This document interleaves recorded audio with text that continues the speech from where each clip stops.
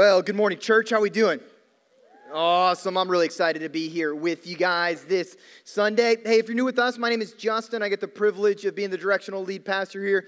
And listen, it is one of the great joys of my life to get to worship shoulder to shoulder with all of you as we follow Jesus together. Hey, we are coming off of Missions Week. So we had Mission Sunday last Sunday, and all throughout the week, we had different mission partners in our church coming and sharing about the ways that God is moving. You might not have known this, but last Sunday, while we were in here at Mission Sunday, over in Kids Life, they were talking about God's heart for the world, just like we were talking about God's heart for the world here. And in fact, they were learning about God's heart for the world through Luke and Caleb. Luke and Caleb are two of our mission partners who are serving over in Cote d'Ivoire, West Africa, right now. But last year, this time, they were serving as Kids Life leaders over in Kids Life. So, how cool is this? Our kids were learning about God's heart for the world through people that they knew last year as Kids Life leaders who are now mission partners halfway across the world. Friends, God is moving, listen, all over the planet through this church here in Southwest Missouri. It's just a joy of my life to get to sit front row and watch Him move. Amen? Amen. Hey, this morning uh, we are going to be hopping back into our Roman series. So if you happen to have your Bibles, go and pull those out. We're going to be in Romans 7. Before we get there, though, I do have a couple of things for you guys. You already heard them talk about this, but I, I really can't help myself. The first one is a big one. We worship a Savior who lived perfectly. He lived a life of perfection, righteousness, and obedience, the life that we should have lived. He died sacrificially on a Roman cross to wash away the stain of our sin and to wash away the stain of our shame. He washed us white as snow in his blood. But the disciples would have surely felt defeated as they were pulling Jesus down from the cross and putting him in Joseph's tomb.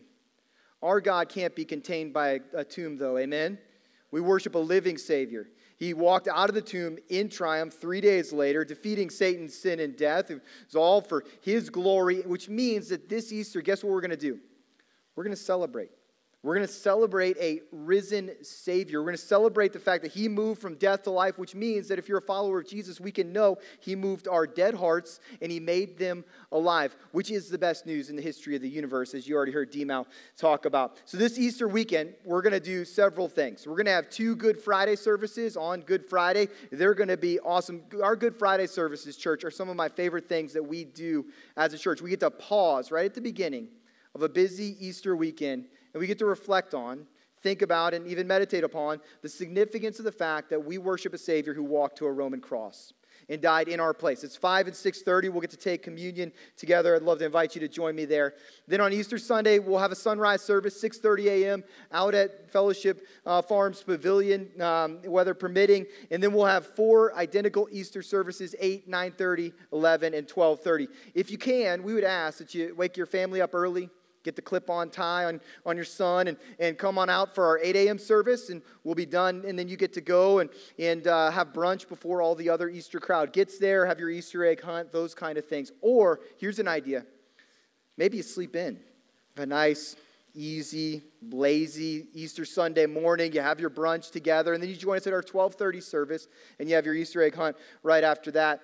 But whatever service you come to, we would ask as you leave to grab some of our invite cards and invite everybody you can. We're making space in here for as many people as are willing to join us on our Easter services, and we'd love for your whole neighborhood, your family, your friends, coworkers to join us there. Then you, you heard Drake talk about this. Two weeks after Easter, we're having a men's conference. Men, this is for you and it's for your buddies. It is going to be a ton of fun to gather the men in our church and really from churches all over our community together and to hear about biblical masculinity from Jonathan Dodson. He's going to do an incredible job on that. But what I'm most excited about is we're going to have fun together. We're going to feed you dinner on Friday night. We'll play cornhole, or my wife's family calls it, bags. We'll play that. It'll be great. Uh, in, in, the actual uh, uh, stuff that we're doing that night, uh, don't tell the elders, but we're going to be able to hit some practice golf balls at that little window in the back of the room and, and see what happens there. I'm sure nothing will break. Um, it'll be fine. Most of all, we'll get to worship Jesus together. It's going to be a lot of fun. So uh, let me encourage you to go ahead and get signed up for the men's conference and do it quickly because our, our stuff is filling up, especially some of our breakout sessions. They're, they're getting filled up. I'd love to encourage you to, to get signed up uh, today. All right. For the last several weeks in our Roman series, Paul has been laying before us a revolutionary, life transforming, heart freeing strategy for defeating the heart level sins in our life. You see, we need to fight our sin, according to the Apostle Paul, from the inside out. We fight our sin with our new identity in Christ. Christian, did you know that right now, because of what Jesus has already done, like right now, right now, here's your identity you're dead to sin. Christ is with you. You're free from your sin, and your eternity is secured. Nothing and no one can take that identity from you. So Paul says in Romans 6, hey, we take that identity and we let it work its way out into our actual day to day lives. We live in light of who we already are in Christ. But that's not all. At the end of Romans 6, Paul says, hey, we also need to fight our sin from the outside in. Like, w- did you know that every act in your life is an act of submission to some master? Paul says at the end of Romans 6 everything we do is an act of submission to some master. The choice is not freedom versus submission. The choice is submission to bad masters who lead to death versus submission to a good master named Jesus who leads to life. So, what do we do? Well, we submit every area of our life to Him, and He leads us to real life. And then at the beginning of Romans 7, we saw that we need to live in the relational presence of God rather than in religious performance. You see, religious performance says, I do in order to earn. I do religious things in order to earn the blessing and favor of the Lord. That's not Christianity. Christianity says, I do because I loved the one who loved me first. He loved me first, and I respond by loving him in return. And if we need help in all of that, God has given us his Holy Spirit who points us to the gospel over and over again, who empowers us to live as God has called us to live, and maybe most precious of all, who is God's relational presence with us, always and everywhere. Now, all of that sounds great. Tie a bow on it, a nice buttoned up ethical system. You do this, and life is smooth sailing until you get to go to heaven with Jesus. Has that been your experience? It's not been mine. It's not how your walk with the Lord has gone. You see, Romans 6 and Romans 7 sound great until real life hits, don't they? Like, real life leads us to ask some really hard questions. Like, okay, Paul, what happens when sin persists? Like, Romans 6 and 7 sound great, but what happens when the fear and the anxiety won't go away? What, what happens, Paul, when the joylessness and the despair won't lift? Or, hey, Romans 6 and 7 sound great, but what happens when I'm still stuck? Like it's been years and I'm still stuck in this crippling comparison and envy stuff, like just almost every single day. What happens then? It's been years and I, and I still can't forgive that person, and the bitterness has seeped into every area of my life. Paul, what happens then? Or what happens when I know the right thing to do and I still do dumb stuff anyways? Like, what happens when I know it's dumb to flirt with the girl who's not my spouse in my office, but I do it anyways? What, what happens when I know it leads nowhere good to click on that link and go to that website, but there I am, late at night at the website again? What happens, maybe scariest of all, when this thing called Christianity is harder than I ever thought at first? What happens when I begin to wonder if I'm even a Christian? Did you know you're allowed to ask questions like that in church? Like, this is a safe place. We don't need to pretend that we have it all together. Do you know why it's okay to ask questions like that in church? Because Paul asks questions like that in Romans 7. This week, in one of the most surprisingly comforting chapters in the Bible, we're going to watch the Apostle Paul, it seems like in real time, process the reality that he's an apostle. He has had a face to face encounter with Jesus himself, and sin still persists in his life. See, church, we, Fellowship Bible Church, are a perfect place for imperfect people because from cover to cover in your Bible, what you find is a whole bunch of imperfect people clinging to one perfect person named Jesus who can help them. Let me show you what I mean. I'm going to pray and then we're going to jump into Romans 7. Pray with me. Jesus, I pray that you'd meet us in this place. I pray that there would be real gospel encounters this morning. God, that we would feel the goodness of the good news of your grace in fresh ways. And the pathway might feel strange. We're going to talk about sin, but God, I pray that as we walk through that discussion of the reality of sin in our lives, we'd see that your grace is, in fact, more amazing than we thought when we walked in the door here. Jesus, thank you for what you've done for us. Thank you for speaking to us. God, I ask that you use my imperfect words to point your people to your perfect truth, all for your glory. We pray this all in Jesus' name. Amen. Hey, there are seasons of life as a follower of Jesus. Can we just be real about this? Where it's just kind of obvious that following the Lord is better. Like there's there are good, really good seasons. Like the longer I follow Jesus, the more convinced I become that Christianity isn't just true, it's better. Like it's the best way to do life. Many of you know that uh, Kate's father passed away earlier this spring, and, and I got to do the funeral, and so I got to talk about how he, he lived his life focused on his faith and focused on his family. But most of all, I got to talk about the glory of where he is right now. After a five year battle with, with Alzheimer's, his thoughts are clear. He remembers his family, and he's worshiping in the presence of the Savior that he loved. Now, I don't know how you can handle the reality of death apart from the hope of the gospel. Christianity isn't just true, it's good. It's the best way to do life, and that becomes maybe most obvious of all at the end of life. But that's not the only kind of season you'll encounter as a Christian. See, there are also seasons of life as a follower of Jesus where following the Lord is hard, but his glory peeks through the clouds from time to time. Like, have you ever been in a season of suffering? If you've ever walked through suffering, you know that this is true. You would never call that season good, but there are moments in the midst of seasons of suffering where the glory of the Lord peeks through the clouds, and that glory is more glorious because of the darkness of the pain that you're walking through in your season of suffering. There are moments where the closeness of the Lord feels closer because of the difficulty of the season that you're walking through. We're actually going to get to hear a story about all of that a little bit later when we get an update from, from Ryan and Lauren uh, about Brooks and their transition back here. But neither of those two types of seasons is what Paul is going to talk about here in Romans 7.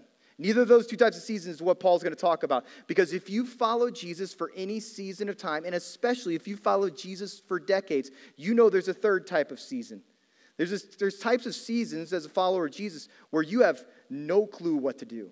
Where it's hard to figure out what's up and what's down. You're just kind of trying to trying to, to, to float along and hope that you come out on the other side at some point. Seasons like when the sin persists. Or when you find yourself running back to that thing you thought you had already defeated, or when you begin to go into one of those deep, dark seasons of doubt. What do you do then? What do you do when the growth is stalled? What do you do when you find yourself descending into hopelessness or despair? In Romans 7, Paul is going to give us one thing not to do and two things to do. Read about it with me. Romans 7. And as you're reading this, here's, here's what I want you to realize this is the Apostle Paul. It's maybe the Apostle Paul at his rawest. Like he's given us like stuff that he's really wrestling with in the face of his sin. So listen to this. Romans 7, starting in verse 7. Paul writes this what then shall we say? That the law is sin? By no means. Yet if it had not been for the law, I would not have known sin. For I would not have known what it is to covet if the law had not said, You shall not covet. That's the 10th commandment, by the way. But sin, seizing an opportunity through the commandment, produced in me all kinds of covetousness. For apart from the law, sin lies dead. I once was alive apart from the law, but when the commandment came, sin came alive and I died. The very commandment that promised life proved death to me, for sin, seizing an opportunity through the commandment, deceived me and through it killed me. So the law is holy, and the commandment is holy and righteous and good. Did that which is good then bring death to me? By no means. This is where Paul gets really real with us. It was sin producing death in me through what is good, in order that sin might be shown to be sin through the, though the, through the commandment might become more sinful beyond measure. For we know that the law is spiritual but I'm of the flesh, sold under sin. For I do not understand my own actions. I do not do what I want to do, but the very thing I do the very thing I hate. Now, if I do what I do not want, I agree with the law that it's good. So now it's no longer I who do it, but sin that dwells in me. For I know that nothing good dwells in me that's in my flesh.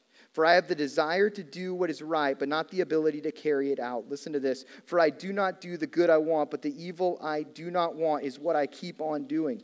Now, if I do what I do not want, it's no longer I who do it, but the sin that dwells in me. So I find it to be a law that when I want to do right, evil lies close at hand. For I delight in the law of God in my inner being, but I see in my members another law, waging war against the law of my mind and making me captive to the law of sin that dwells in my members. Let me just pause right here. You should feel strangely comforted. You want to know why? Because the Apostle Paul is saying the things that you struggle with, he struggles with too. Am I the only one who feels this? Paul is saying, hey, listen, man, some of the stuff that I'm walking through is real stuff, and I, I can't feel like I can get to the other side of it. I don't know how. I'm stuck. If you've ever been stuck, the Apostle Paul is saying, Yeah, me too. Now listen to this, verse 24. Wretched man that I am, who will deliver me from this body of death? If you've never been there, it's a hard place to be, but listen to the hope.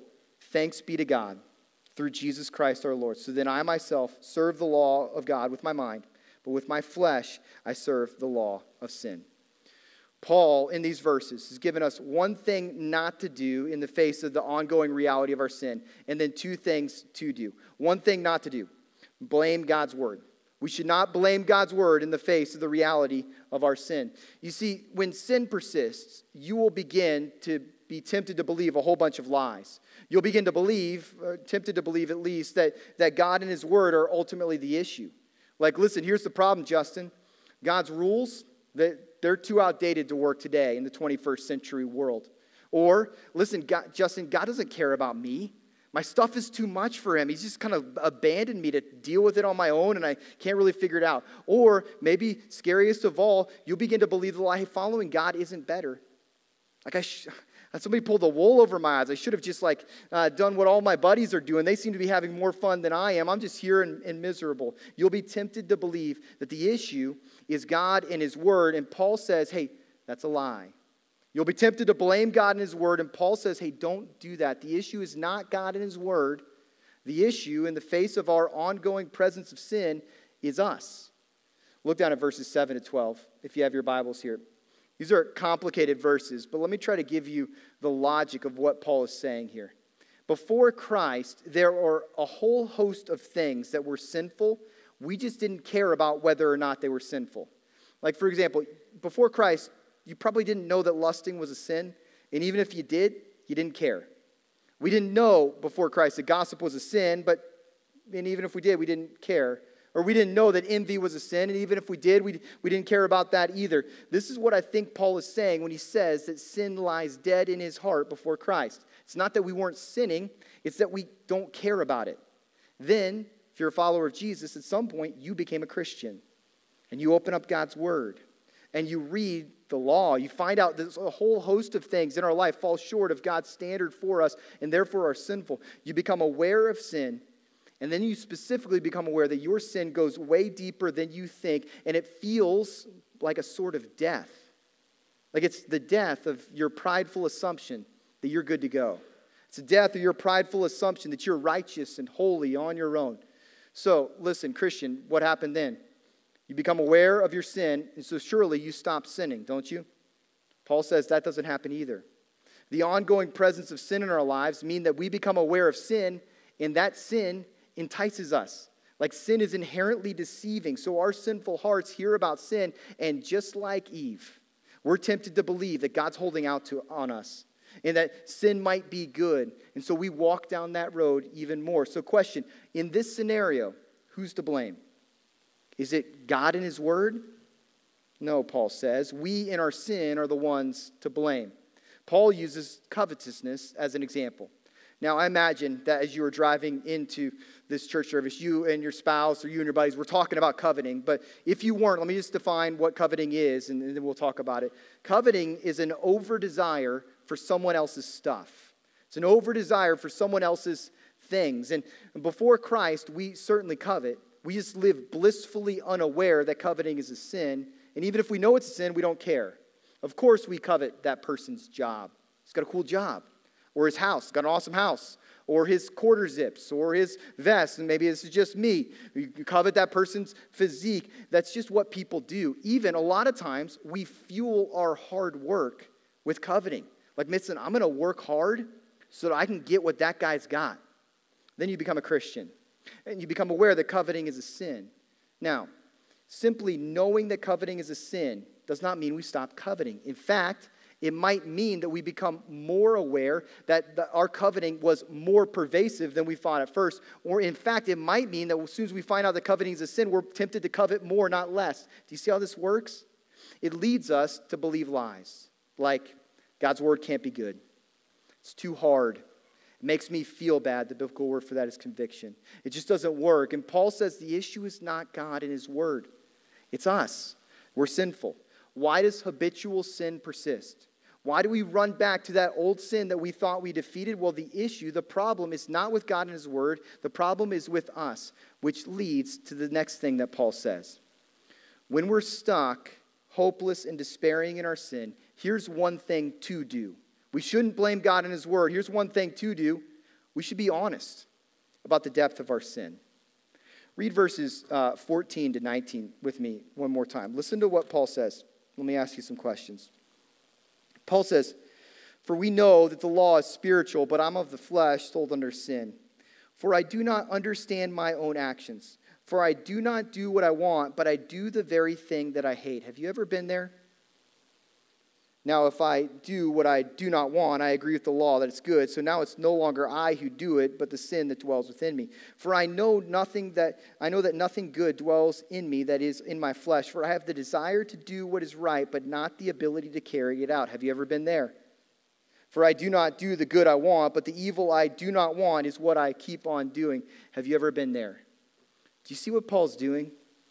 He's talking about the tension in the life of a believer, somebody who's following Jesus but aware of the ongoing presence of sin in his life. He's giving us an honest picture of the reality of sin in the life of those who are followers of Jesus. And specifically this morning, I think Paul wants us to know three things about our sin. here's the reality for the Apostle Paul, every other Christian on the planet, and every Christian in this room when it comes to our sin. First, Christ has won the war. That's what the first six chapters of Romans are about. Jesus has done all that is necessary to defeat our greatest enemies of Satan, sin, and death. When Jesus said, It is finished from the cross, church, do you know what that means in the original Greek? It means, It is finished. The penalty of your sin, finished. The stain of your shame, finished. The just wrath of God toward all of your sins, past, present, and future, that's finished too. And because it is finished in Christ, our salvation has been secured. Justification, secured. Redemption and reconciliation, secured. Sanctification, this, this ongoing process over the course of your life here on this planet of growing to be more and more like Jesus, that's secured too. Eternal glory, secured. So, one thing you need to know about your sin Christ has won the war with it, it's already won. Second thing you need to know this is what Paul is talking about in Romans 7.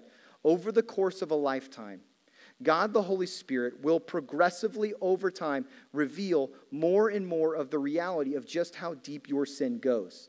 The way I like to think about it is God the Holy Spirit over time reveals these little pockets of rebellion in our heart, these little rebel sin camps that live in our heart, and then He empowers us over time to subdue those places of rebellion.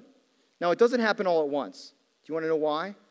Because God knows that if He revealed all of the places where we're rebelling against Him right now, it would just overwhelm us and paralyze us. But over time, He reveals things like, hey, listen, that anger thing, it's an issue. So you begin to deal with it in His power. And then as you're kind of beginning to find freedom there, He, he showed you, oh, wait, that envy thing, that's an issue too. So you begin to find freedom there. And then, oh, that unforgiveness and bitterness, that's an issue too. And so you deal, he empowers us with the gospel to find freedom. Third thing, this process happens over and over and over again until glory. All throughout your life as a follower of Jesus, you're going to be finding new places of rebellion in your heart or old places that resurface, and God the Holy Spirit is going to give you power through the gospel to bring those places of rebellion in submission to your Savior. It's kind of like Hiroo Onoda. This is a picture of Hiroo Onoda. He's a famous Japanese soldier. Onoda is famous because he lived in the Philippine jungle and he continued fighting in World War II until 1974 when he finally surrendered to the Philippine government. So think about this. For 29 years, from 1945 until 1974, Onoda was fighting a battle in a war that had already been won. That's what your sin's doing right now. It's fighting battles, And you're fighting back if you're a follower of Jesus. Sometimes well, sometimes you feel like you're losing those battles, but they're all battles in a war that's already been won by your Savior. So feel how powerful this is. Why does Paul and why do we do what we do not want to do? Why are we tempted by the evil that we hate? Why, why do we have the desire to do what's right, but we, then we don't carry it out? Well, because Christ has won the war, and we're still in the process of subduing the rebel camps of sin in our hearts. Both those things are true of every Christian in this room. Listen, this is the normal Christian life. Follow me. If that's true, what Paul is saying in Romans 7 is true for every Christian in this room, do you know what it means? You might as well be honest. You might as well stop hiding. And when you are honest, and when you do stop hiding, you'll be met with a community in this church that says, Oh, yeah, me too. I, might not have the same sin that you do, but I'm stuck somewhere too. I might not have the same struggle that you have, but I'm tempted to despair somewhere too. Do you feel how freeing this is? Second thing, when we're stuck, hopeless, and despairing in our sin, here's a second thing to do cast yourself on the grace of Christ again and again and again. Do you feel how hopeless Paul was in verse 24? It's kind of the climax of Paul being hopeless in his sin. Listen to what he says. Verse 24, chapter 7. Paul says this Wretched man that I am, who will deliver me from this body of death? Where's the hope in that verse? Well, the hope comes in verse 25. Got to keep reading. Look at the beginning of verse 25. But thanks be to God through Jesus Christ our Lord. There's only one hope in the light of the ongoing presence of sin in our lives. God the Father sent Jesus the Son. Jesus, who is God, added humanity to his divinity, and he came on a rescue mission for us. He lived a perfect life. He walked step by step to Jerusalem. On Palm Sunday, this Sunday, 2,000 years ago, he walked into Jerusalem, and there were crowds cheering around him because they thought he was walking into Jerusalem to secure himself a crown. They did not know yet that he came to endure a cross. Jesus came to be our Christ. That word Christ in verse 25, it's not a name, it's a title. It means Messiah.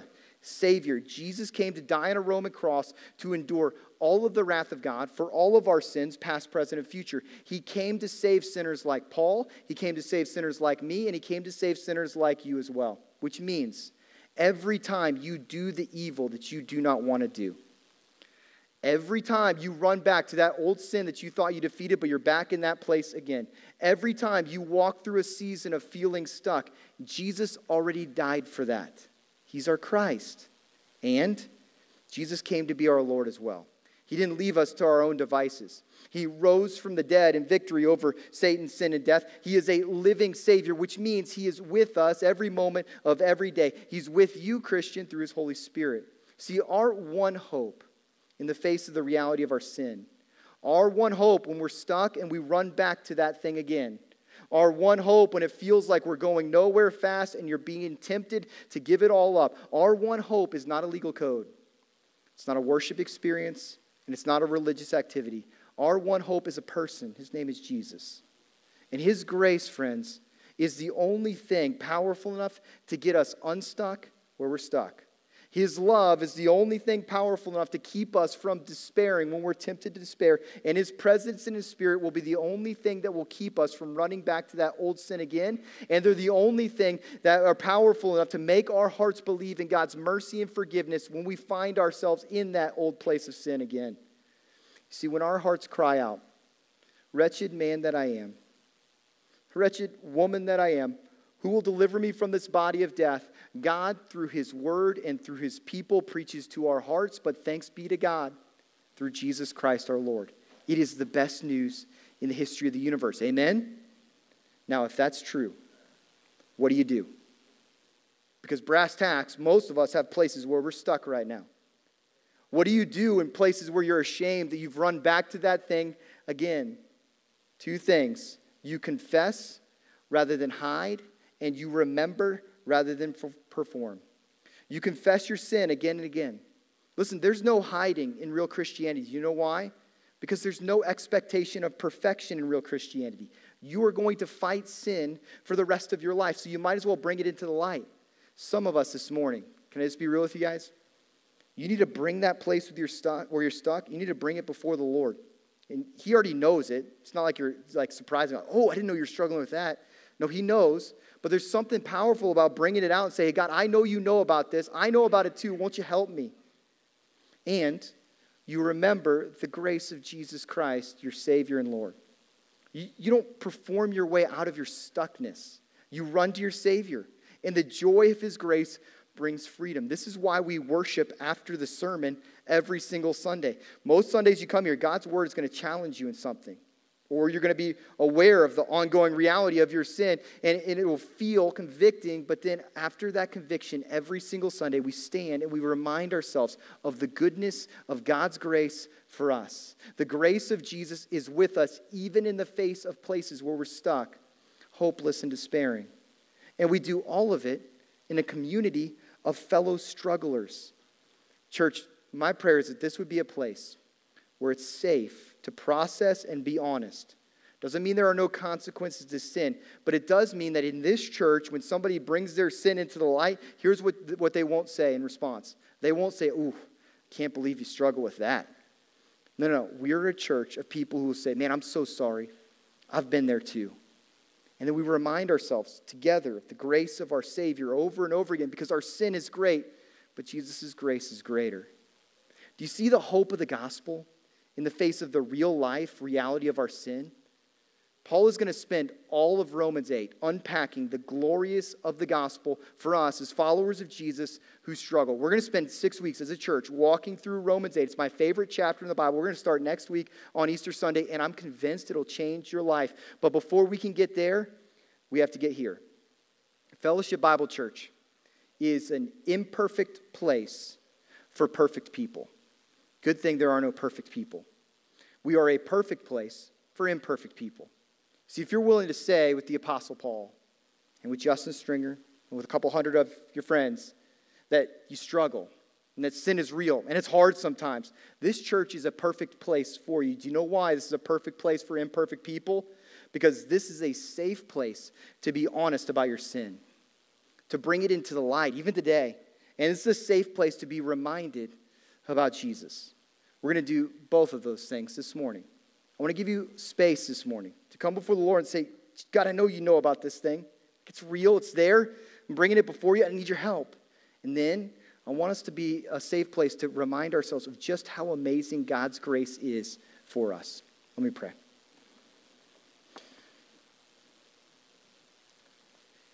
Jesus, we love you. And God, this may not have been the message that we were hoping to hear when we walked into this, this building today, but it's the message we needed to hear. So thank you for speaking it to us. God, we need fresh awareness of just how amazing your grace is for us. Help us to feel it. Help us to know it. God, I pray that we'd be honest about places where we're stuck. We don't need to hide that stuff anymore. We'd be honest with you. We'd be honest with our community. God, I pray also that we would be honest about just how amazing your grace is for us. It shines all the more gloriously because of just how difficult it is sometimes to find freedom from the sin that we're stuck in. You paid for it. And that's amazing news for us. We love you, Jesus. Pray Praise all in Jesus' name. Amen.